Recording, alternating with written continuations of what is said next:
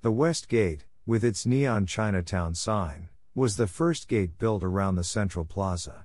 The inscription at the top of the gate reads Cooperate to achieve in Chinese characters. The neon covered West Gate is even more spectacular lit up at night, color coordinated with all of the red lanterns. If you enter the plaza through the East Gate, just continue through toward North Hill Street to exit under this ornate doorway.